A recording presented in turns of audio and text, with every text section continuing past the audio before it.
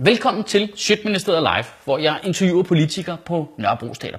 Og øh, måske ser du det her på Facebook. Måske hører du det her i dine høretelefoner på din telefon, fordi det har downloadet vores podcast fra iTunes. Det kan også være. Det ved jeg ikke. Under alle omstændigheder, så kan du kun det, fordi der er nogle super seje mennesker, der går ind på sjøtministeriet.10.dk og donerer øh, nogle penge til os, som vi så kan bruge til at producere alle de her ting for og lægge gratis ud til dig. Det vil jeg bare lige nævne, hvis nu du skulle have lyst til at være en af de super seje mennesker. Det interview, du skal høre nu, eller se nu, det er øh, med SF's forkvinde, Pia Olsen Dyr. Og øh, jeg er måske lidt tavlig, nu siger jeg det bare lige. Øh, hvad er SF? Hvad, hvad skal vi med dem? Hvad går det ud på? Vi har enhedslisten, vi har Socialdemokratiet. Er det ikke bare fyld? Og om det lykkedes Pia Olsen Dyr at svare på det, det må du selv vurdere, men jeg synes faktisk, hun slipper øh, okay afsted med det, må jeg sige. Men du kan se det her.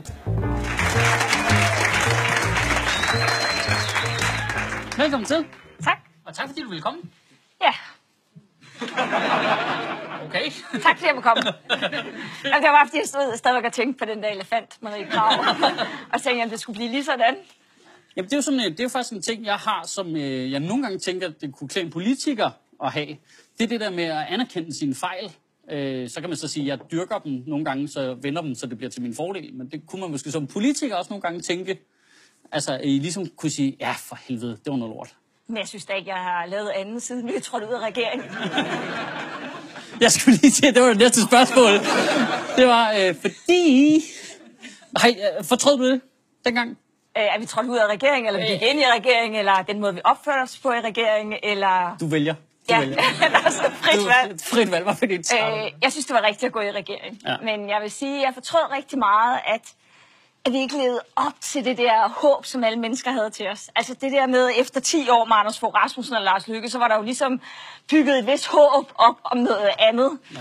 Øh, og det leverede vi ikke på, og det tror jeg næsten er det, jeg synes, der er aller værst. Det er den der skuffelse bagefter, fordi i virkeligheden tror jeg også, jeg skuffede mig selv. Ja. Hvad, altså, hvad så hvis I får mulighed for at gå i regering igen nu? Vil I så gøre det igen? Ja, men så vil vi jo gøre det af erfaringer klogere, håber jeg da. Og så er Morten Østergaard heller ikke lige så farlig, som Margrethe Vestager, er mit indtryk. Han løber ikke om hjørner med nogen, hva'? Altså, øh, jeg vil sige, at jeg kommer ikke til at gøre den samme fejl, som dengang vi trådte ind i regeringen og lave en blå økonomisk politik. Det gør SF aldrig igen. Altså, det bliver en rød økonomisk politik, hvis vi skal træde ind i regeringen. Altså, Så kan du heller ikke gå i regering med Socialdemokratiet. Åh, oh, jo, på økonomien kan man godt. Så bliver det dig og enhedslisten. Nej, jeg, jeg synes faktisk, noget af det der Mette har sagt, altså Mette Frederiksen, ja. hun har sagt, hun vil gøre op med nødvendighedens politik osv., det synes jeg, der tegner meget godt. Jeg foreslog, at vi skulle lukke moderniseringsstyrelsen, og der var hun derude at sige, vi kan godt kigge på mere tillid til de offentlige ansatte og sådan noget. Så jeg synes, at det bevæger sig i den rigtige retning. Men jeg bliver lige nødt til at sige omkring det der med Margrethe Vestager, ikke? Ja. Fordi hun, hun er faktisk meget hyggelig. Altså, hun er faktisk meget... At det virker hun ikke sådan, men, men det er... Hun er meget hyggelig. Hun, øh, hun, øh, hun strikker, for eksempel. Altså, da vi sad i økonomiudvalget, når vi sad i økonomiudvalget og skulle sådan lave store forhandlinger, så kom hun med sådan nogle små juleting, som hun satte op i struensesværelset. Så sad der sådan små julehjerter rundt omkring og sådan noget. Og samtidig, var, og samtidig lige skriv lige under på det her også. Øh, det jeg selv hæklet den her, hvor du sælger alle dine principper. Ah, jeg vil sige, at hun har gjort en god ting for mig. Jeg kom faktisk ned på at løbe en kilometer på 5 minutter. Fordi at jeg blev simpelthen så rasende på hende. Så da jeg kom hjem, så var min løbetid meget bedre. Så noget godt kom der ud af det. Men okay, nu... Øh, Det er pjat, Ja. men det er rigtigt. ja, ja, Altså løbetiden var rigtig. Det er den ikke mere. Den er meget højere. Det kan være, jeg skal finde nogle... Det kan være, Morten han skulle udvikle sig. folk ved godt, at vi snakker om Morten Østergaard nu, ikke? Okay. øhm, jeg, jeg skrev til dig i, en mail, øh, da vi snakker om at lave det her interview, at jeg ville starte med det lidt øh, flabede spørgsmål. Hvad, hvad, hvad skal vi med SF? Hvad skal vi med SF? Altså, hvis vi har Socialdemokratiet, og vi har Enhedslisten, hvad, hvad laver I? Så er der da så meget plads. Kan du ikke se det? Øh, det er du nok nødt til at forklare, tror jeg. Jamen altså, hvis jeg vil sige, jeg synes jo, at vi er et venstrefløjsparti. Vi er sådan set optaget af grøn omstilling og social retfærdighed. Øh, og er også meget idealistiske. Der adskiller vi os på nogle punkter, i hvert fald for Socialdemokraterne. Men vi er også villige til at søge indflydelsen nogle gange. Og jeg vil sige, også når det bliver besværligt, og enhedslisten går jo aldrig ind i forhandlinger. Altså, jeg tror, hver gang de kommer ind i forhandlingslokalet, en gang, da vi skulle forhandle gymnasiereformforhandlinger, det skulle du spørge mig, Jacob Mark om, for det er faktisk rigtig sjovt. Eller, men, men i hvert fald, så, så siger, så siger øh, de kommer ind i forhandlingslokalet, og så siger Karoline et eller andet for Alternativet, jeg kan ikke huske hendes efternavn, hun siger, øh, jeg forlader forhandlingerne, vi kommer aldrig ud af det her med noget fornuftigt. Og så går hun ud af lokalet, de ikke engang starter forhandlingerne. Og så siger Jacob Sølhøj fra Enhedslisten, damn, det plejer sgu da at være min rolle. Så jeg synes, der er plads til et venstrefløjsparti, der også søger indflydelse, og vi sørgede for, at karakterkravet ikke øges i gymnasiet, og det var faktisk vigtigt. Altså, så du mener, at I, I ligesom dem på venstrefløjen, der ligesom bliver inde i forhandlingslokalet, og også går på kompromis med noget af det, I mener, for at få indflydelse? Ja, men selvfølgelig ikke på alt. Altså, der er også røde linjer for os, men det der med at sidde og sige, okay, Gymnasiereformen er ikke, som vi ville ønske, hvis vi skulle udtænke den. Men der var, det var vigtigt for os, at der ikke kom til det der uddannelsesnopperi, hvor uddannelseskravet til gymnasiet skulle være højere end for eksempel til erhvervsuddannelser. Ja. Og jeg vil sige, undervejs i de der forhandlinger var det altså meget, meget svært at sørge for, at det kun blev et total, men det lykkedes. Og det var, fordi SF var Altså, fordi I ville gerne have, at så mange som muligt skulle kunne komme i gymnasiet? Jamen, at det ikke skulle være sådan, at på erhvervsuddannelser skulle vi kræve, at vi to mens på gymnasiet skulle de pludselig skrive fire eller syv, og ja, vise, ja. det var finere, fordi erhvervsuddannelserne er vigtige. Og de er fine, og det er vigtigt at være faglært. Det er altså ikke kun vigtigt at blive akademiker i det her land. Nå, og det var det signal, vi gerne ville sende, at de skulle ligestilles. Okay. Ja. Og, det, og det ville enhedslisten ikke være med til? Jo, men de ville bare, der var mange ting, hvor de sådan ligesom, for eksempel, deres problem var, ved jeg, en af tingene, det var, at man, i stedet for at man har rigtig mange retninger i nu, ja. øh, det er jo nærmest en jungle, at finde ud af, hvor mange A- og B-C-kombinationer man kan få, så havde regeringen foreslået, at det skulle ned til meget få kombinationer. Og det var en af de ting, enhedslisten sagde, om det kan vi ikke være med til. Øh, og, øh, og derfor gik det ud af lokalet. Vi blev så og kæmpede både for karakterkravet og retningerne osv. Øh, og det gør jo at nogle gange, at man går lidt på kompromis. Ja. Altså, men jeg synes, egentlig, jeg synes, enhedslisten er meget ærlig. De siger jo, at de vil ikke gå med til noget, øh, hvis de også skal acceptere noget dårligt. Altså, de vil kun have det gode, de vil ikke have nogen dårlige ting, og det er fair nok. Det er sådan den rene vare. Ja, ja, ja. Det, det er ren idealisme. Ja, ja, og så er vi lige inde imellem. Øh, og hvad så der er meget hvis, plads mellem Socialdemokratiet og Ja, fordi hvad er Socialdemokratiet så? Hvis enhedslisten er ren idealisme, I ligger midt imellem, hvad er Socialdemokratiet så? De er en lille smule mere pragmatiske. Det var stille og roligt en øh, friløber af et svar, det der. De er en lille smule mere pragmatiske. Nej, men jeg synes også, de er villige til at give op på nogle rigtig vigtige ting. Altså, for eksempel øh, synes jeg også, det var vigtigt at være med i politiforlidet. Jeg ville rigtig gerne have været med. Jeg har sådan ligesom stået derovre og nærmest havde lyst til at kysse Claus Hjort for at komme med. Ah, så, så vil man gerne være med. Ja, så vil man virkelig gerne være med.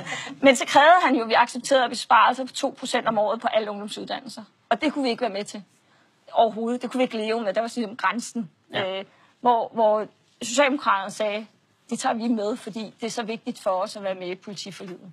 Så, så de er villige til at gå lidt længere, end vi er. Øh, der er simpelthen nogle... Vi er, vi er nok lidt mere stålfaste i forhold til nogle ting, som vi synes skal forandres i det her samfund, som vi ikke går på kompromis med. For eksempel uddannelsesområdet. Okay. Og så har vi, nu har vi så, det er så enhedslisten, så vi, og så Socialdemokratiet så placeret jer. Og så kommer det må næsten være irriterende for alle andre øh, venstreorienterede så kommer enhedslisten der øh, nej, undskyld, så kommer Alternativet. No, Rendende ja. lige pludselig der, og synes det samme som jer, men er bare super hippe og nørrebro og se, jeg har også lagt noget på Facebook og sådan noget. Ja. Er, er det helt seriøst, er det ikke lidt irriterende? Nej. jo. Og hvis jeg skal være helt ærlig, jo, så er det da lidt. Hvor, hvor ligger de hen i forhold til jer så? Jamen, de ligger jo over hos enhedslisten. Altså, de stemmer i 98 procent af tilfældene sammen med enhedslisten. Så okay. der er ikke den store forskel på dem. I hvert fald ikke, hvad de gør i Folketinget. Nej. Jeg synes, det de siger, er, jeg synes, de er idealistiske. De kommer med rigtig mange gode grønne forslag, som jeg er meget enig i. Ja. Øh, jeg synes bare, det er lidt ærgerligt, at det ikke bliver til virkelighed. Ja. Så. Men hvad, hvad skal man, er det så jer, der skal til for at få de ting til at blive til virkelighed, eller hvordan? Altså, hvordan, øh, når, hvis vi tager øh, Alternativet og Enhedslistens forslag, som du er enig i, ja. hvorfor er det, de ikke bliver til det? Det er fordi, de ikke aldrig vil gå på kompromis. Og det bliver man jo lidt nødt til. Altså, det er lidt ligesom, jeg, jeg er jo gift med en mand. Jeg får ikke altid min øh, vilje derhjemme. Nej, altså, nej. vi diskuterer ret Ja, han er socialdemokrat, det gør det heller ikke altid helt nemt. Øh, vi så han går meget på kompromis? Nej! Jeg tror sgu, at der er sådan Henrik Sass Larsen, socialdemokrat, han går ikke på kompromis. Nej. Øh, nej, det var svært. Øh. Uh, men jeg vil sige, sådan er det jo. Altså, det, SF har syv mandater i Folketinget. Ja. Uh, lad mig komme med et eksempel. Vi skulle forhandle Nordsøolieaftale. Det tror jeg rigtig mange har hørt om. Det her ja. ja. tyrefelt ude i Nordsøen og sige, hvorfor skal I overhovedet være med til det? Skal være olie og gas. Så for et, jo, det skal vi jo nok nogle år endnu, eftersom vores biler i Danmark kører på benzin. Og det vil vi gøre frem til 2030, 95 procent af dem. Så enten kan vi vælge at tage gas og olie op, modtage det fra Rusland eller Mellemøsten, eller skal vi selv tage det op fra Nordsøen. Det var sådan ligesom, kan man sige, indgangsbønden til, Ja, ja, at vi skal re- reparere den der platform, for den er ved at synke ude i Nordsøen. Og så havde jeg det sådan lidt, ja, men hvem skal så betale for den der fest? Øh, hvordan får vi erhvervslivet til at betale det? Det var en af de udfordringer, der var i, for erhvervs, øh, i hele forhandlingsforløbet. Ja. Den, de at få lov til, det er erhvervslivet, der betaler. Og derudover for de selskaber, der er derude, det er jo Shell, Chevron, Mærsk og Nordsøfonden. Fire selskaber. Nordsøfonden, det er så dig og mig og alle jer. Det er staten. De får så lov til at betale pengene tilbage med renter. 5% rente, hvis olieprisen er over 75 dollar per tønde i 2022. Og 85, øh, hvis den er over 85 dollar, så skal de tale tilbage med 10 procent. Det er jo sådan set ret okay. De låner pengene undervejs, når de skal ombygge feltet.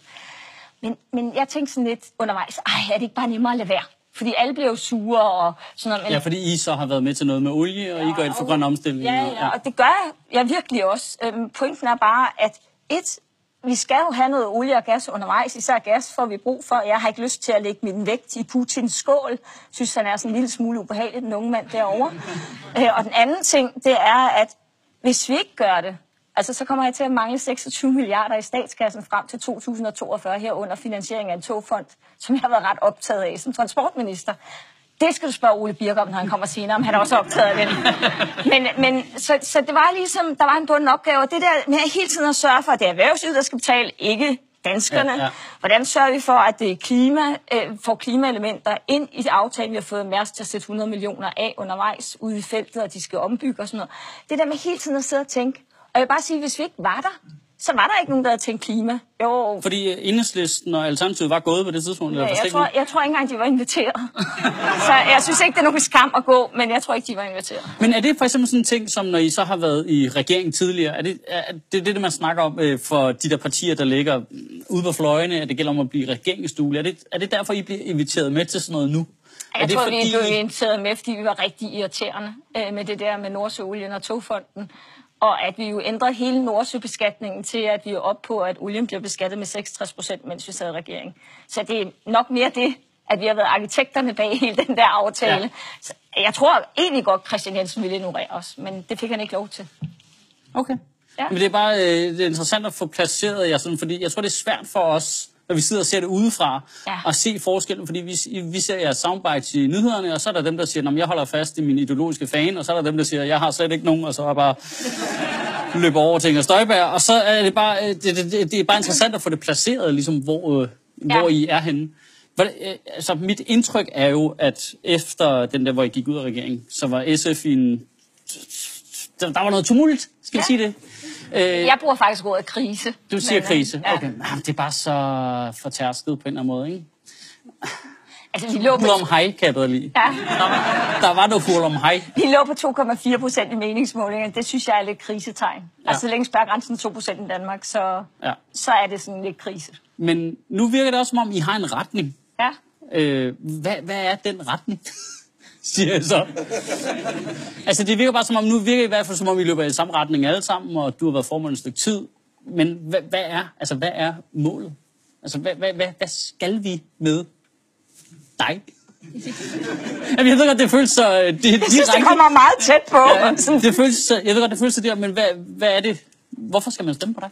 Ja, man skal jo stemme på SF, fordi man gerne vil en grøn omstilling af Danmark, og man samtidig også gerne vil have, at den skal være socialt retfærdig. Altså, Men det- øh, det er og alle de grund til, nej, det? grund til, at jeg siger det på den her kombination, ikke, det er jo sådan lidt, hvis man bare er grøn, uden og sådan ligesom også mener, at det skal være socialt retfærdigt, så er det sådan noget pyntegrønt, så er det sådan noget hattedamegrønt.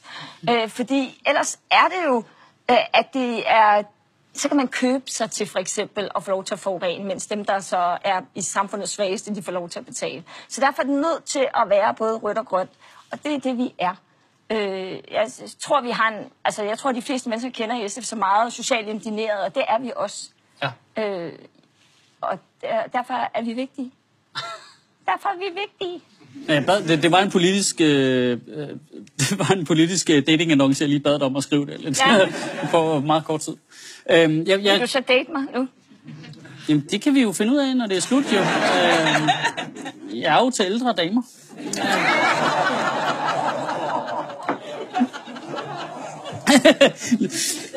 jeg, øh, Ja. men din mand er socialdemokrat, siger du. Så han er villig til at gå på kompromis. Ah, nok ikke så meget. Øhm, Hvor gammel tror du egentlig, jeg er? det er ikke, vi er sikkert jævnaldrende i virkeligheden, jo. Det er det, der er så frygteligt. Prøver du at redde den nu? Ja. Ja. Jeg tror, det er, fordi folk tror, at jeg er yngre, end jeg er i virkeligheden. Ja. Fordi jeg er 25. Den går ikke længere, mand. Det kunne jeg godt have slået afsted med for et stykke tid siden, det der. Ja. ja. Nå, øh, men øh, væk fra datingannonce tilbage på sporet. Ja. Øh, fordi, kan du se, hvad der står der? Nej, jeg kan ikke læse Nej, din håndskrift. det kan jeg heller ikke. øh, men øh, det er fordi, normalt så plejer jeg at gøre det. Øh, når jeg skal snakke med nogen, så går jeg lige ind og tjekker, hvad, hvad, hvad har I liggende øverst på jeres, øh, på jeres websites? Og så kunne du ikke finde hjemmesiden, eller hvad? Jo, jo, jo, det kunne jeg sagtens. Nej, nej, men jeg, jeg, jeg, skulle, til- jeg skulle til at rose dig, fordi. Ja. normalt det, der står derinde, hos stort set alle de andre partier, det er seriøst bare guld og grønne skove til alle, high fives for en femmer, sådan noget. Altså, det er fuldstændig random shit, der står, ikke?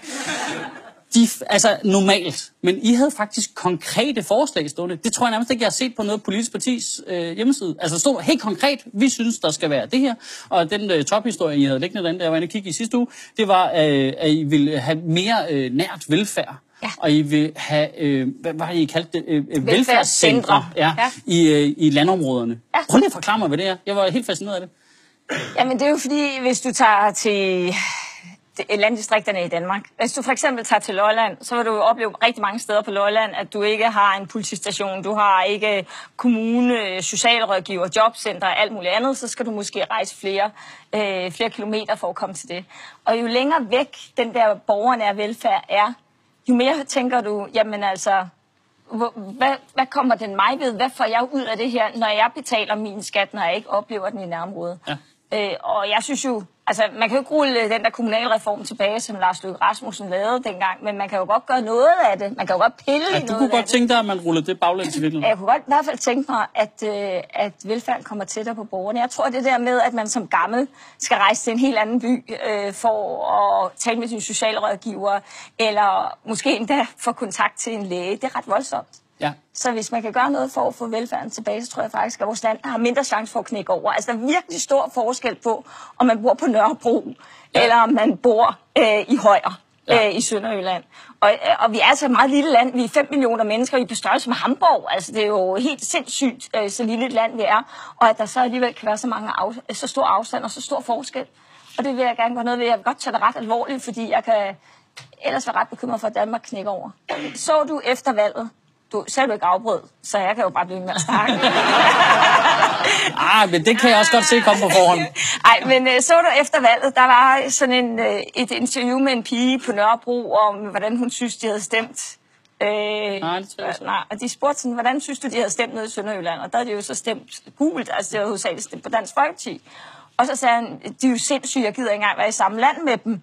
Og så interviewede de så nogen nede i Sønderjylland og sagde, at de der storbysborgere, de har jo slet ikke fattet noget som helst af vores problemer. Og det er jo meget alvorligt i så lille et land, at vi ikke engang kan forstå og genkende hinandens problemer. Det bliver vi nødt til at gøre noget ved. Så, øh, altså, så de der øh, velfærdscentre, det er simpelthen at tage de funktioner, der førhen lå ude i de forskellige byer, og så samle dem, eller hvad? Altså, Nej, sådan- der er i virkeligheden, fordi der er nogle byer, der slet ikke er det her i. Ja, der er ikke nogen politistation, der er ikke noget apotek. Og, Ja, der kunne for eksempel heller ikke være noget socialrådgiver eller et jobcenter eller noget andet. Og jo tættere det kommer på en, så jo nemmere kommer man over nogle barriere.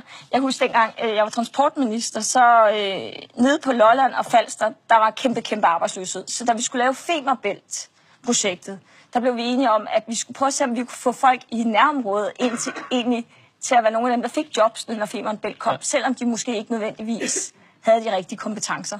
Så vi prøvede sådan at indrette en masse elementer i kontrakterne, så folk gik ud og for eksempel... Så det var folk uden de rigtige kompetencer, der byggede bro? Nej, men, men nej. der er ingen bro, det, det, det er en øh, tunnel. tunnel. Ja. Men øh, nej, men det var, hvor man gik ud og bankede på hos langtidsledige, som så fik job hos nogle af entreprenørerne. Entreprenørerne havde jo mange ansatte. Ja. Men når man har en virksomhed måske med 100 ansatte, kan det godt være, at du kan tage en, der er arbejdsløs, og lære dem op undervejs. En af dem mødte jeg. Han har været på kontanthjælp i, tror, 20 år. Og så lige pludselig har han fået det der job, og i starten han kunne ikke engang stå op om morgenen. Ikke? at de tog hjem og ringede på på hans dør og sagde, nu skal du stoppe, du skal huske at pakke en madpakke osv. Det virker jo helt omsonst for os, der går på arbejde hver eneste dag. Men det der med, at de blev ved og ved og ved, lige pludselig, så stod han der om morgenen selv. Og i dag, så har han faktisk fast job dernede hos den der entreprenør, fordi der var det der lange forløb. Det var en af de ting, vi fik ind i kontrakterne, og det gode var, at han blev en del af samfundet. Og det der med, hvis der, jo længere væk du er fra de der indsatser, at folk ser dig og lægger mærke til dig, hey, kom du ikke? Jo sværere bliver det at være en del af, af et fællesskab. Og det er, det er noget af det, jeg bekymrer for. Og derfor det der med, at du har en socialrådgiver, der er lige hernede rundt om hjørnet, der holder øje, eller kommer forbi. For eksempel Rebellen fra Langeland er jo et godt eksempel. Han går hen og ringer på folks døre. Så bliver det meget virkelighedsnært. Men er det ikke kommunernes opgave, du beskriver rimelig fint der egentlig? Jo, men kommunerne bliver jo større og større. Altså, de er jo meget store, nogle af kommunerne, og der er rigtig langt til deres borgere. Det kan godt være, at vi ikke føler det i København, men øh, så op i øh, Vesthimmerland, så synes du, der er rigtig langt øh, til kommunen i dit eget lille lokalsamfund. Så det der med, at vi foreslår, det er ikke, at de skal være der hele tiden, men at de der centre er sådan nogle øh, mobile enheder, hvor man siger... Oh, Nå, så det er, ikke, det er ikke en fast bygning? Nej, jeg troede, nej, det var et hus. Nej, nej, det er ikke noget... Nej, nej, det er, at man for eksempel man har masser af nedlagte offentlige bygninger. Ja, for eksempel, jeg troede, det var sådan ligesom at samle alle ting inde i et hus i et sted, hvor der var... Ja, det var for eksempel en dag om ugen, og om mandagen, der er vi så det sted i den her by, og den kan du så komme hen til dem. Mens de andre dage er vi måske inde i hovedbyen. Og sådan sørger vi for, at det skal være noget, der flytter rundt inden for den enkelte kommune. Nå, okay, det er meget smart, det der med, at du kunne flytte rundt. Jeg tænkte egentlig bare, det, jeg så det som et hus, og så tænkte jeg, hvis I kunne putte bilka ind i den også, så har I ramt, du ved, noget af jydernes øh, kærlighed til storcentre. Øh, de, de, de laver jo tit de der ting i forvejen, har jeg mærke til. Jeg har da optrådt en gang et sted, hvor det var et bibliotek og et kulturcenter og et dækcenter og børnehave i en bygning og sådan noget. Altså, Dækcenter? Ja, det tror jeg sgu, det var. Øh, og galleri og sådan noget. Men øh, Altså, så, så det er jo ikke en tankegang. Der var nogen, der kom med deres bil ind i centret for at få skiftet dæk. Jamen, det, det, man, det er sådan, det, sådan er det jo bare de steder, hvor der ikke er så mange huse, der er offentlige. Så putter ja. man alt det ind i den, og kraftigt, man kan få det ind. Men, men prøv at forklare mig igen, hvorfor er det ikke kommunens opgave? Jeg forstår ikke, det... Men det er også kommunernes opgave. Pointen er bare, efter vi har haft kommunalreform, har man jo centreret det. For eksempel alt sammen op i Viborg, så man inde i Viborg by, mens man har jo mange andre småbyer rundt omkring, som tidligere havde et bibliotek, tidligere havde øh, en lokal politistation, nærpoliti osv., de er flyttet væk. Altså, du vil komme til byer, der er helt tomme. Og det er ikke fordi, jeg siger, at det skal være dem alle sammen. Men det, vi vil gerne give kommunerne mulighed for, at de kan søge en statslig pulje, ja. og så kan de få lov til at lave de der mobile enheder, der kan tage ud, så man føler sig tættere på ens velfærd. Okay. Og det ikke er så langt væk. Men altså, så, så I vil sende penge med til den idé? Altså, så ja, I vil ikke bare pålægge kommunerne at lave nej, de her ting? Vil, nej, fordi vi ved jo godt, at tingene koster penge, og kommunerne ja, ja. skal spare 2% hver eneste år. Det, det er en hele tiden effektiviseringsøvelse. Men er det... det synes jeg, synes, er lidt interessant. Det, nu må du rette mig, hvis jeg tager fejl, men ja. jeg synes, der er noget... I virkeligheden, så det du snakker om, det er en... Jeg, jeg forbinder øh, socialisme og, øh, og at decentralisere tingene som modsætninger. Og i virkeligheden så øh, er du nu argumenterer du for øh, decentraliseringen, decentralisering, men ud fra et socialistisk, med et socialistisk øh, udgangspunkt på en eller anden måde. Men det er jo netop der, hvor SF er. Altså, det, det er meget godt, fordi hvis vi skal være sådan ideologisk om, hvor SF er, nu snakker jeg meget konkret politik før, så er både Socialdemokraterne og Enhedslisten, altså de tidligere kommunister, jo meget statsligt fokuseret. De mener, det er staten, der skal løse problemerne, og er ligesom der, hvor modellen skal være. SF har altid været og opstod som et parti, der troede på det centrale. Det, at dengang vi opstod, så var det jo som reaktion mod Sovjetunionen, og vi ikke ville styres øh, for Sovjetunionen i Danmark. Men... Det kan godt blive relevant igen, lige om lidt. Øh, muligvis. Det. Men øh, ja, ja, det er så lidt skræmmende. Ja, det er faktisk. Øh, men øh, men øh, det vi var optaget i, det er at sige, kan vi sætte tingene tættere på borgerne? Ja. Og derfor blev vi sådan et decentralt parti. Det har vi faktisk til fælles med radikale venstre og venstre. På tværs af de politiske skæld er vi meget optaget af, at det skal så tæt på borgerne som muligt. Det kan man så godt diskutere, om det venstre altid lever op til. Ja. Okay. Jamen, det er jo rigtigt. Det kan man, jeg synes bare, det er, det er fascinerende, det der med, hvordan hvis man får lov til at snakke med en politiker i mere end øh, fem minutter ad gangen, så finder man lynhurtigt ud af, at der er sådan nogle ormehuller i det politiske spektre, ja. øh, hvor I hænger sammen. Og det virker som om, at for eksempel så, du ved, at Enhedslisten og Liberal Alliance har nogle fælles ting omkring øh, anti-overvågning og anti det ene og andet, øh, og, øh, og offentlighedslov og alt den slags. Og så finder man ud af, at øh, du har det fællesskab med Venstre, og øh, med de radikale venstre. Hvorfor, øh, altså er det fuldstændig utænkeligt, at I tre partier gik sammen, nu ved jeg godt, nu har I jo ikke... jeg, kan, jeg, jeg kan ikke engang nå at sige det færdigt, vel, men hvorfor, hvorfor er det, det ikke udmyndter sig mere i virkeligheden? Hvorfor kan jeg ikke se dig lave et forslag sammen med Morten Østergaard og øh, Lars Løkke Rasmussen omkring noget med at decentralisere det hele? Vi gjorde det faktisk dengang med bydelsforsøgene i København. Der var det? Undskyld. bydelsforsøgene i København. Det kan godt være, at nogen af jer kan huske, dengang vi havde bydel i København, hvor det faktisk var lokalt, man styrede, øh, øh, hvordan København skulle udvikle sig. Det er nok, før min tid. Ja, det er det nok. Øh, så er du lidt yngre end mig. Ellers er du bare langsommere. Øh, men, øh, men i hvert fald... I hvert fald var det noget, vi vedtog sammen med Radikale Venstre og Venstre, så på den måde gik det øh, på tværs. Jeg oplever også nogle gange, når jeg sidder i forhandlinger, at jeg er vanvittig enig med Søren Pind. Altså, og det er, jo, det er jo næsten så... Du er godt klar, at vi optager det her, ikke? Ej, men øh, for, eksempel, øh, for eksempel sådan noget med grundlæggende rettighed og, og demokrati og sådan noget, det kan vi godt være enige om. Fedt. Ja. Ved du, det, det, ja, det, det er bare så rart at høre dig sige det højt. Ja. Det var en fornøjelse, du kom. Ja, det var så lidt. Tak for, at jeg må komme.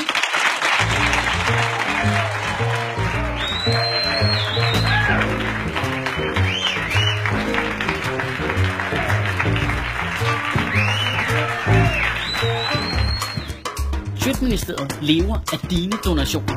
På tier.dk kan du oprette et donationsabonnement, hvor du giver lige præcis det beløb, du har lyst til. Og så kan vi lave flere interviews på Nørrebro Teater, flere taler, sende Sofie Flygt mere på gaden. Og hvis ikke du gør det, så er du en fik